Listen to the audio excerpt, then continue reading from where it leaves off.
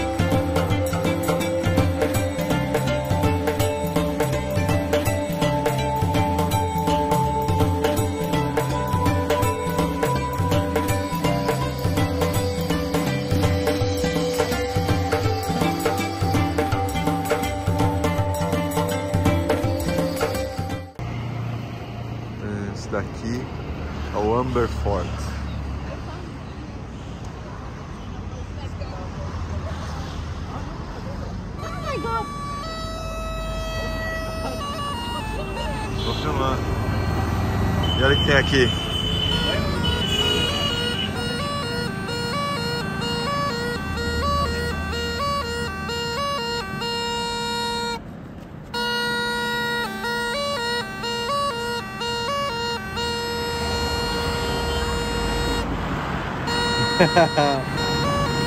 You're going, you're going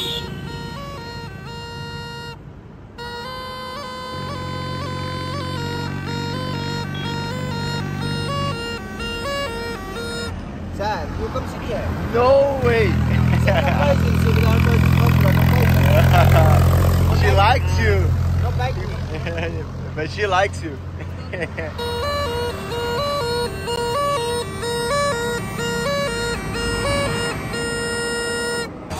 Chegamos aqui.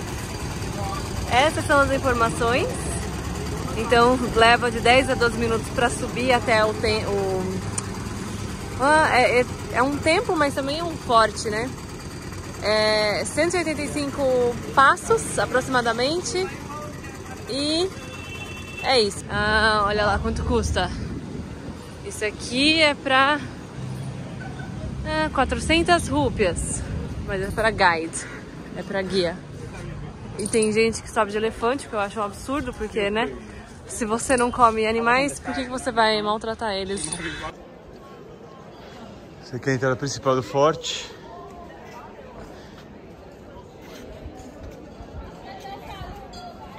E aqui, pessoal, faz esse turismo de. Sabe? Esse. Esse turismo aqui com os elefantes. O que é uma pena, né? Porque os bichinhos são claramente tristes aqui apesar de estarem todos pintadinhos. É muito doido essa dualidade da Índia aqui, né? Ao mesmo tempo que você tem toda essa preocupação com o animal, vegetarianismo, karma e afins, você vê coisas como marruts ainda, esse tipo de de maus tratos animais. Mas enfim, né? A gringaiada aqui curtindo. Pode ver que é 99% é gringo andando nos elefantes. A gente veio curtir outra coisa aqui, ó. Que lindo esse forte. Olha aquela entrada que maravilhosa.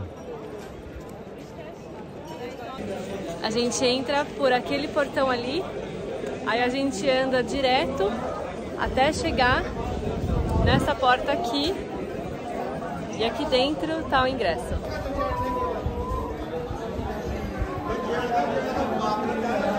Aqui dão os preços, ó. Entrada turista, 500 rúpias. Se você é estudante, agora aqui uma dica, hein? Ele falou ontem, o nosso host, que se você tem qualquer carteirinha de estudante, você pode entrar pela, por aquele preço, não importa se é, se é vencida ou não.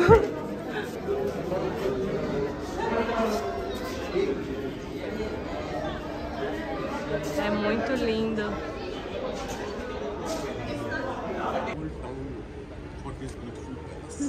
Beautiful city. So I tell you, this town is much older than Jaipur city. What is the name of this town? Amber, Amber. A-M-B-E-R. E o nosso guia aqui? Que língua que você fala? Oi, bom dia Brasil! Bom dia, Brasil! O Manu fala super bem português aqui. a Um guia muito bom. que Encontramos ele. todo Índia está aberto para todos os brasileiros. Isso mesmo. Aqui em Índia.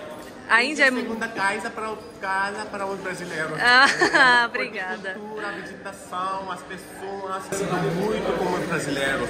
Vegetação também, as pessoas, cultura como o Brasil, cultura com uma diversidade, Índia também. So, Tem alguma frase que você acha que resume a Índia pra você? um, incrível, incrível Índia. Incrível Índia. Incrível Índia. Incrível Índia.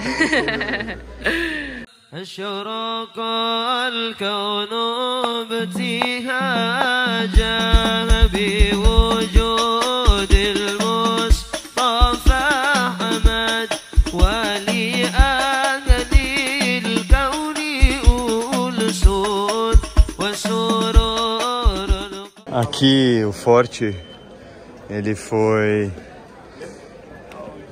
é, passado para o governo, né? Virou um, um prédio público. E a única coisa que pertence à, família real é o templo de Kali. Estamos entrando aqui. Olha só. Thank you. Olha a portona. Que linda. Essa muralha aqui, ó, que é construída em volta aqui do forte, do século 14, é, é a terceira maior muralha do mundo. Tem 18 quilômetros, se eu não me engano. E em Udaipur, que a gente vai ir, uma cidade próxima, é a segunda maior do mundo. Tem 32 quilômetros. E a da China, né? Claro, é a maior. Tem apenas 2 mil quilômetros. Olha que lindo aquele lugar.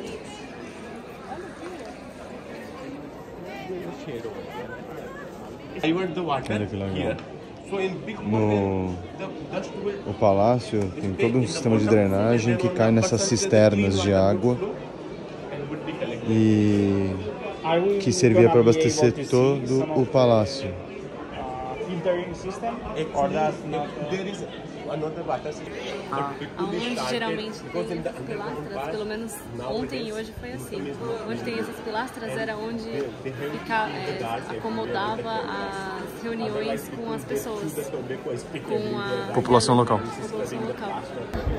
Quem tá ali?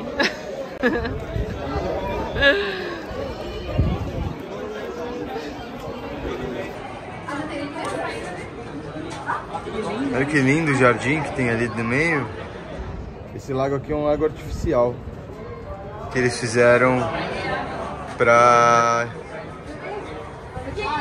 storage water, né? Para armazenar água. Essa muralha é linda. Muito legal. E aqui, que é a Ambertown, na verdade era a antiga capital. E é mais antiga que Jaipur.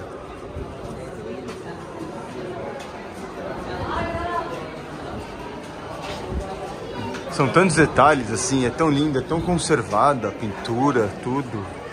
Olha, é uma loucura. Isso daqui nunca teve restauração. Nunca teve restauração. Olha a qualidade.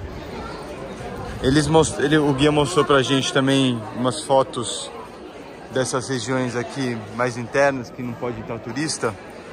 É impressionante assim, a qualidade que você tem ainda das, das cores e da preservação do local. Eles fecharam porque o pessoal masca fumo e sai escrevendo o nome é, Carlos Adão nas, nas paredes. Então teve que fechar. Isso aí realmente é lindo, assim. Isso daqui tem uma placa de cobre dentro que fica esquentando a água, Sem, distur- é, sem atrapalhar a família real. é, porque fica esquentando e ali dentro é o.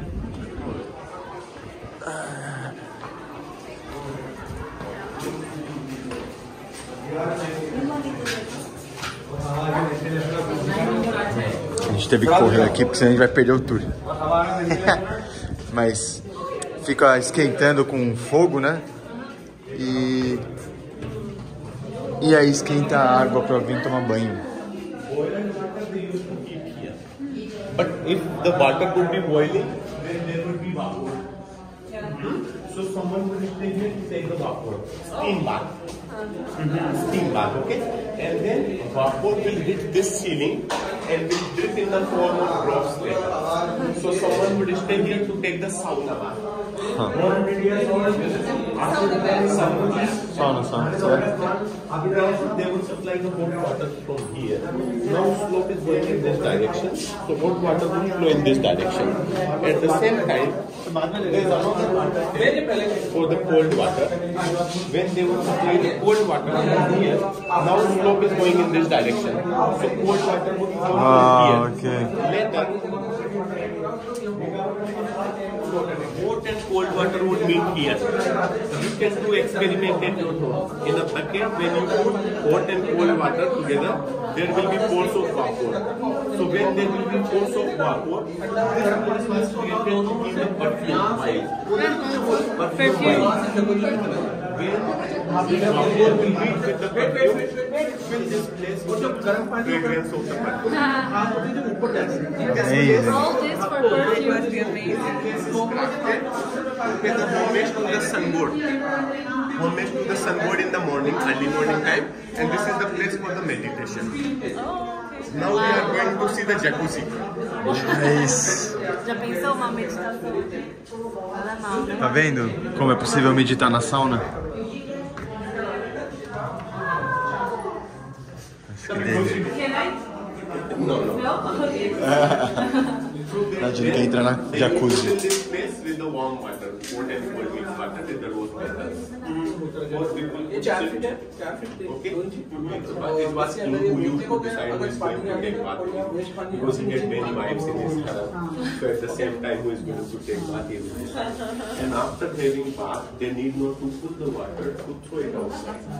So to drain out the used water, proper drainage system was given over there. E no But, but I told you one thing.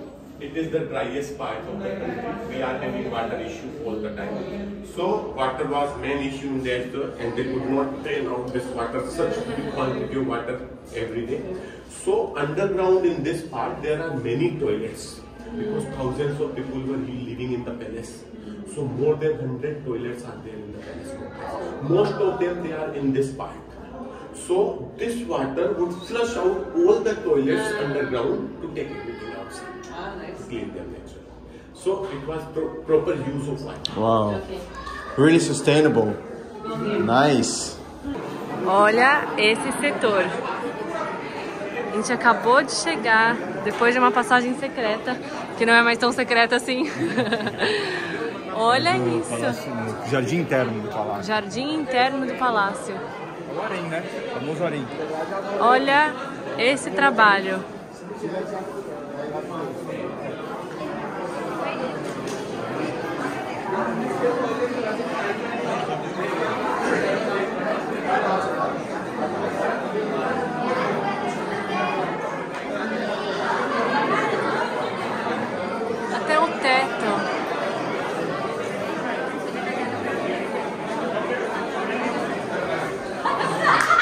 Here the upper part and back side they are silver coated, that's why they look shiny. mm. So outside we saw the whole of public audience, public meeting place. It was private meeting place, means high level meetings with the ministers with another important people. Inside this hall there is another, parallel hall. By the side of the hall there are two bedrooms. The door is opening inside also and outside also. So during the winter time it was very cold, royal family used to live inside. then iron hooks have been put there. They used to handle thick curtains, to the thick curtains. But when they used to cover the, from all the sides, they were able to stop the cold wind coming from outside. But if you cover all the side, it will remain dark inside. So they used to lit the candles. Candles would be will be illuminated entire palace because of the glasses. And when it was very cold outside, especially in the night, by that time with the candles, the glass would become warm. And it would give you warm feeling when it was very cold outside. So it was a natural heating system of that time. Olha essa obra de arte aqui, que é só, só, uma coluna do palácio. Isso aqui é mármore preto e isso é mármore branco. E aí você vem pro desenho e vê essa... Primeiro, né, olha esse desenho. Olha isso, olha esses detalhes. É muito lindo. Olha essa, olha essa curvatura. E aí você chega na borboleta.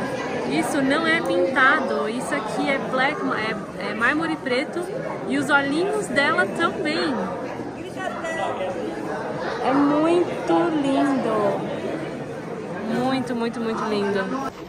Olha lá, aqui, como todo bom local islâmico, a mulherada tem que ser escondida, porque é- vocês são preciosas. Não é pra ficar mostrando pra qualquer um. Então a mulherada ficava aqui, escondida. As mulheres do. As coisas desse, desse cantinho.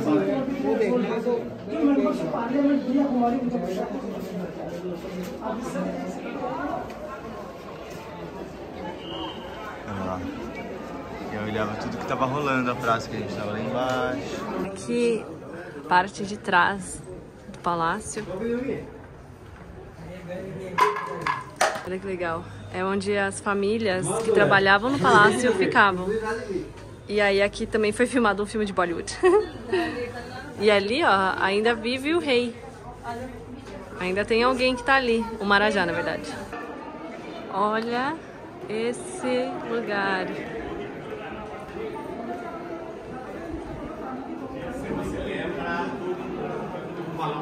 Sobre uma cadeira de rodas.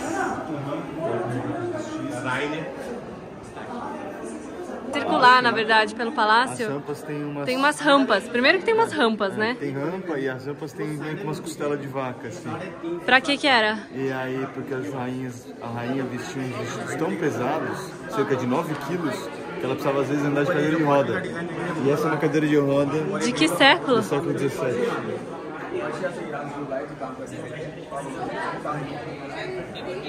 Reflexo tá. É, então, não dá pra ver muito bem, mas é, é de puxar aqui. Então você levanta aqui, ó, você puxa, né? E as pessoas que levam. Esse daqui é o, o harém do rei. E ele tinha 12 esposas. E aí, se quiser, você quer ter 12 esposas, você tem que construir 12 quartinhos diferentes para cada uma delas viver no seu conforto, né, meu amigo? E aí cada uma delas tinha um acesso a onde ele morava, que era aquele ali em cima, né, na, na cobertura. E aí a gente vai dar um rolezinho aqui no harém dele. Esse aqui é uma das passagens. E aí cada quartinho tinha sua escadinha, tá vendo? Cada quartinho tinha sua escadinha. Pra se ele quisesse descer à noite, ou alguma das mulheres quisesse subir, ninguém ia saber pra onde foi, quem subiu. Ele tinha 12 passagens. É, então. Uma dica, né, que a gente recebeu do Tutu, que era... Ele falou assim, não precisa contratar guia, porque tá, a gente achou que estava tudo escrito. Mas na verdade não é que tá escrito, é que tem áudio guide. O que é legal também, né? Tipo, você não precisa pagar pra usar o audio guide. Ele tá lá, um QR Code lá na entrada e você precisa ter o, Download, ter o fone de ouvido só. E os guias oficiais, eles sempre estão quase na entrada, perto dos, dos tickets, counters, então não precisa ficar agendando guia no meio do caminho, é só você chegar. É.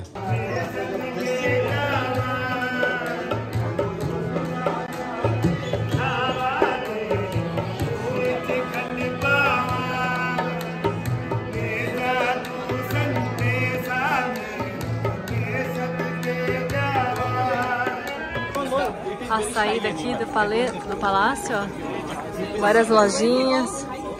Vendendo esses guarda-chuvas que é tentador de comprar. Gostaria de ter um. Sapatos. Pessoas tocando folk music. Tudo que você imagina.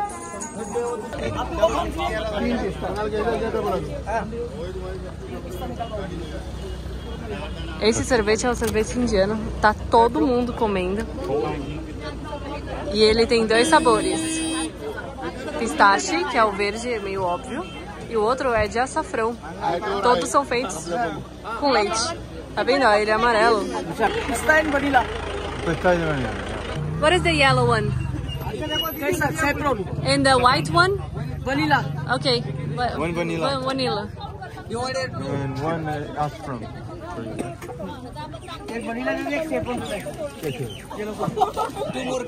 E aí? É diferente. Ixi.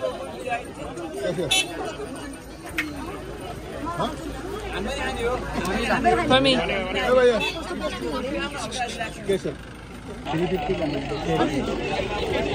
Eu gosto de cheirar as coisas antes.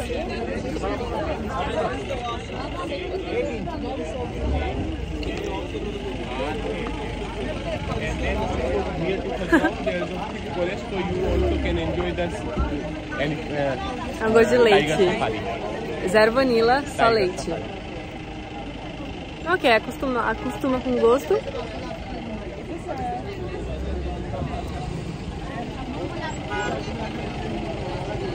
Ok. Diferente.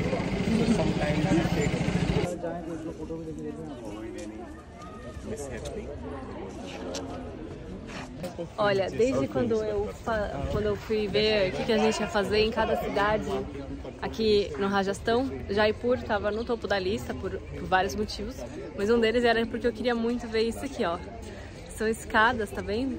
Que tem influência na arquitetura indígena. É, e, contrário do que as pessoas pensam, isso aqui não é um reservatório de água. Isso aqui foi construído só para ser um local de cerimônias religiosas. Então tá vendo ali, ó?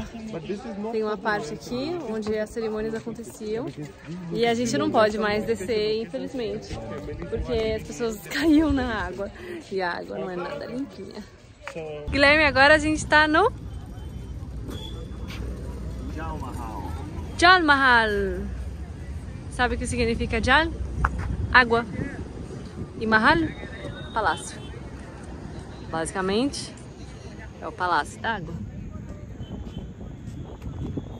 Mas aqui é propriedade privada. E você só é convidado para ficar aqui se você é uma celebridade. Como nós não somos ainda uma celebridade, não podemos entrar. Então a gente só fica aqui fora, junto com o pessoal.